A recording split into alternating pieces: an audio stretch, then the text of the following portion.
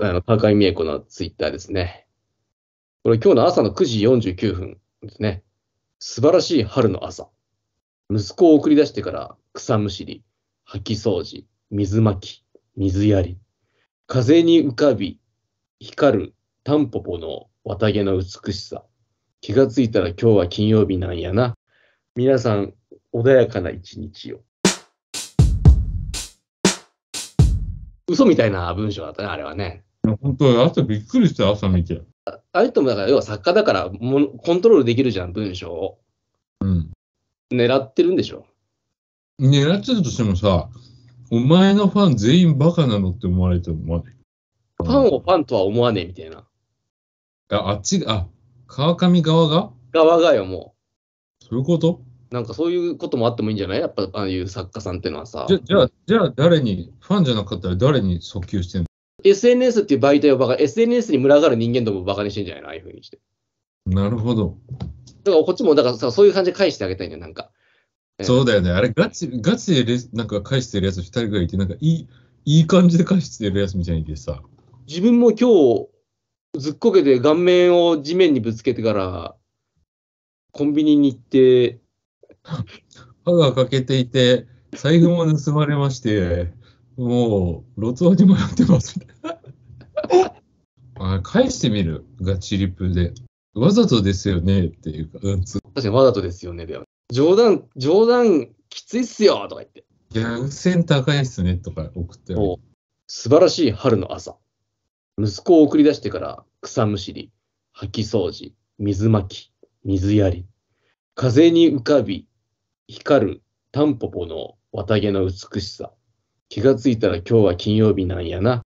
皆さん、穏やかな一日を。って書いてあるの。そう。悩ん、やなが若干さ、本当にこいつ言ってんじゃないかって思ああ、ってた確かに。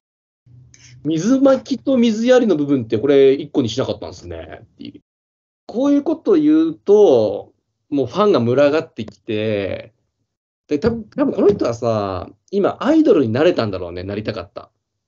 いや、そ、あ、そうなの？やっぱみんななんか言ってるよ。アイドルって言ってる。今このね、あのアカウントのアイコンもさ、セルフィーしてる自分をこうドーンとね、私って出すじゃないですか。作家っていうのはさ、もうちょっとこう、匿名性とかがあったりしたときに、こうもうちょっと覆面とかさ、蘇生を出さないことも可能なのが作家なわけじゃん。うんところがこの人っていうのはものすごくこう自分の多分おそらく容姿とかも多分自信があるんだろうね。うん結構出すのよ。出してるじゃないですか。うんまあ別にさほ作家の人なんて別にこの人に限らずみんな出してるんだろうけど、そのなんかその、その出し方にドヤ感がすごいじゃないっていううん。出し方。だからつまりそれは、そのやっぱり自分をその容姿として売っていきたいみたいな、もう内面は十分評価されたと。うん。で、今こう、あアイドル的な風になりたい。だからあえてアホみたいな文章なんじゃない私は文豪じゃないと。あ、なるほど。見て、かこの、ただの可愛い女の子。そうそう、可愛い女の子ごっこしてんじゃないかなっていう。あ、可愛い女の子ごっこだよ。なるほど。すごいめっちゃ女心わかるじゃん。文豪としては一回捨てて、もう文豪のはもう十分評価されたんで、でもすごいんだよ、この人。な何もかも手に入れようとしてんのよ。うん。その前に、その要はさ、この、だってすごいのさ、ただのアイドルだけじゃないんだから、いきなりこの子育てっていうものも織り込んでるから、ただのアイドルじゃないね。うん。確かに。ファミリー、お母さんアイドルみたいなところで今これ、そんないツイートなんだろうなっていう気がする。女性として称賛されることができること全部をやりたいのか。なんかもう多分できることに気がついて、そして気持ちよくなってるんだろうなっていう。うん。だから多分一番ピュアなのはやっぱり単純に小説が書きたいとか、なんかそのね、ぶうん内面的な出てくるものが評価されたら、美人だったりする女っていっぱいいるじゃん。うん。だからさ、そこでいきなり土俵に立つやつがいっぱいいる中で、多分そこにいきなり食い込むの難しいじゃん。その美貌とかだけでいくのって。うん。でやっぱりそういう意味では一一個抜きん出てんじゃん。なんかその作家としてさ。すごいこう着実な人だよね。自分のキャリア形成がこう。まずは、やっぱ女なんて腐るほどいるし、綺麗な女っていっぱいいるから、じゃあ作家でまず。でも作家っていう部分は本当にね、才能とかやりたいからいけるんだろうけど、で、いざそれを、そのと到達点まで来たときに、いわゆる女としてのちやほや、簡単に今味わえるっていうだからこの文章は稚拙でいいわけじゃん。うん。アイドルだからね。普通のアイドルママになってるんでしょ、これ。そういう意味では天才なんじゃない？そういうものに。この人のモードがもっとさ、やさぐれた男、トラックドライバーみたいなのが憑依したらもっと面白い文章書けそうじゃん。そうだね。友達は好きなんか知らんけど、なんか擁護すんだよな、みんな。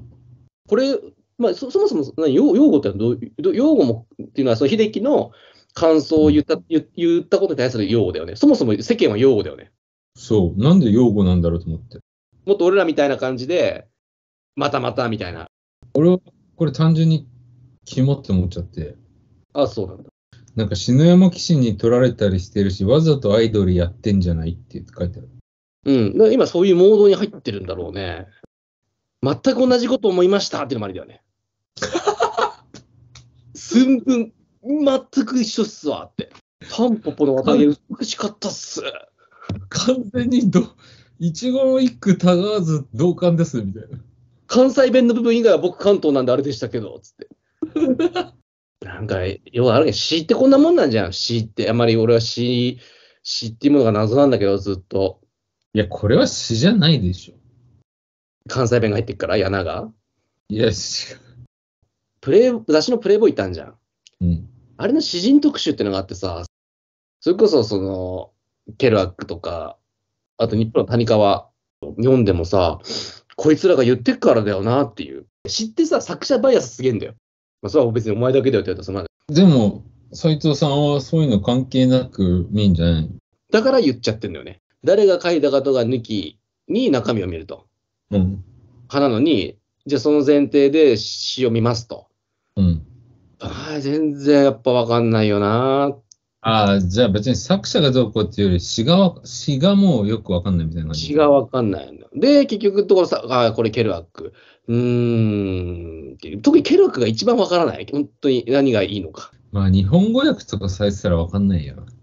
そうなんだよね。このリズムとか違うだしね。そうそう。詩って難しいな。だだからそういう意味でこれは、もしかするとすごく詩なのかなとか。まあでも結構幼稚だよね。でもなんか子供に向けてんのかなとか、あと子供がわかりやすくない？この文章。子供がツイッターを見てるってこと？